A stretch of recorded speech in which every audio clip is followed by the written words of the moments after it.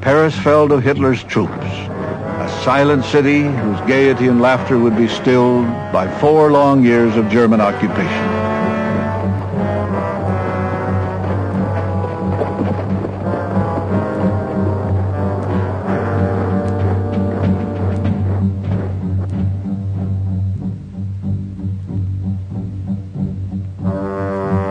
It was Hitler's crowning triumph, the fulfillment of a dream.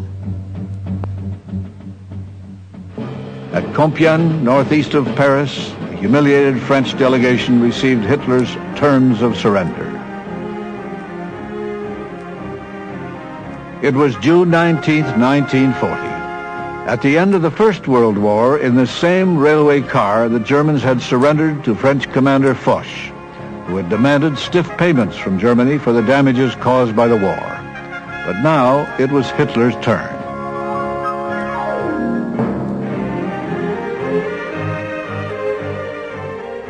While many French leaders had fled, others who remained behind welcomed the occupation, preferring peace on Hitler's terms to the death and destruction of war. But the conditions imposed upon France were crippling the nation was required to pay 400 million francs a day during the occupation, while turning over to the conquerors two-thirds of its land and 80% of its natural resources. In addition, French Jews and other undesirables were to be surrendered to the Nazis.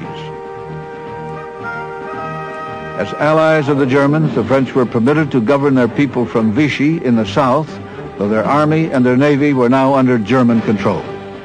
The overseas possessions of France were to be divided among the Axis powers, with Indochina presented as a token of gratitude to Japan.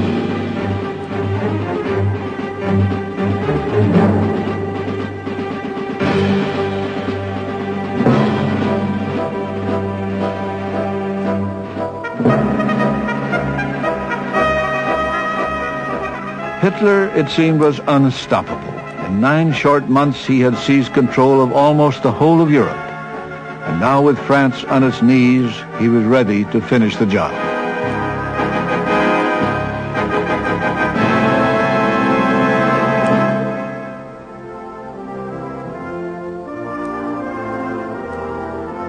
While the band played Germany's national anthem, Hitler pranced on the soil of France, savoring the revenge that many of his countrymen had longed for since their defeat in the First World War.